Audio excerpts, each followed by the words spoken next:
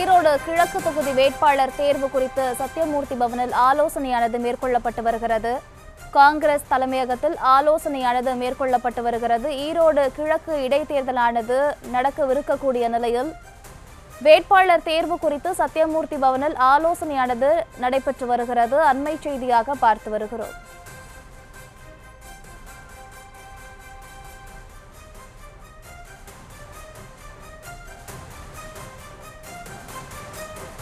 ஈரோடு கிழக்கு தொகுதி வேட்பாளர் தேர்வு குறித்து சத்தியமூர்த்தி பவனில் ஆலோசனையானது மேற்கொள்ளப்பட்டு வருகிறது. காங்கிரஸ் தலைமையகத்தில் இந்த ஆலோசனையானது மேற்கொள்ளப்பட்டு வருகிறது.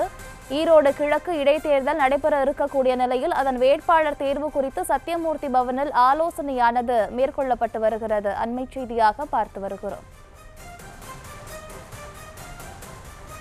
கூடுதல் விவரங்களை தரவிருக்கிறார் செய்தியாளர் மணிவண்ணன். மணிவண்ணன் வணக்கம். இந்த ஆலோசனை குறித்த கூடுதல் விவரங்கள் என்ன? பதிவு செய்யலாம்.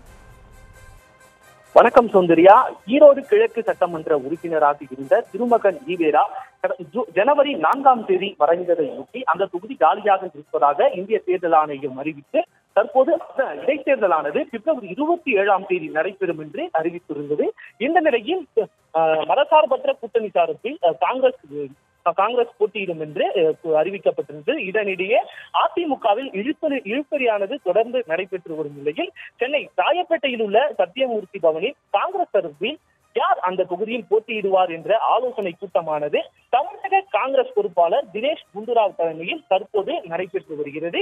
இதில் மூத்த தலைவர் E V K Elangovan Thangabalu Krishnasamy நாடாளுமன்ற உறுப்பினர் திருவ திருநாவுக்கரசு ரஞ்சன்குமார் போப்பனா பொன் கிருஷ்ணமூர்த்தி உள்ளிட்ட பலர் கலந்து கொண்டுள்ளனர் இந்த அறிவிப்பானது அகில இந்திய காங்கிரஸ் கமிட்டி சார்பில் அறிவிக்கப்படும் என்று ஏற்கனவே தெரிவிக்கப்பட்டிருந்தது. இந்த நிலையில் இந்த ஆலோசனை கூட்டமானது நடைபெற்று வருகிறது. இது முக்கியமான ஆலோசனை கூட்டம் என்றும் பார்க்கப்படுகிறது. ஏனென்றால் இந்த கூட்டத்தில் இவர்கள் சார்பில் தேர்வு செய்து டெல்லி மேலிடத்திற்கு அந்த வேட்பாளர் யார் என்று அறிவிக்கப்படும் என்றும் தெரிவிக்கப்பட்டுள்ளது. டிவி கே எஸ் இளங்கோவனின் மகன் அதாவது இரண்டாவது மகனாக உள்ள சந்தை சம்பத் அவரை நிறுத்துவதற்கான வாய்ப்பு அதிகம் உள்ளதாக காங்கிரஸ் தரப்பில் தெரிவிக்கப்பட்டுள்ளது. மேலும் இன்று இரவு பத்து மணிக்குள் அந்த அறிவிப்பு வெளியாகும் என்று தகவலானது ஒன்றும் வெளியிடப்பட்டுள்ளது. இன்னும் இரண்டு நாள் அல்லது இன்று இரவுக்குள் யார் வேட்பாளர் என்று இந்த காங்கிரஸ் சார்பில் அறிவிப்பு வெளியாகும் என்றும் கூறப்பட்டுள்ளது. இந்த நிலையில் இந்த ஆலோசனை கூட்டமானது தற்போது நடைபெற்று வருகிறது.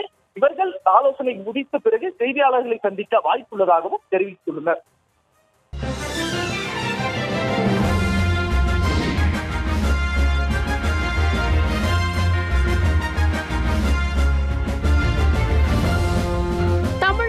செய்திகளின் புதிய அடையாளமாக.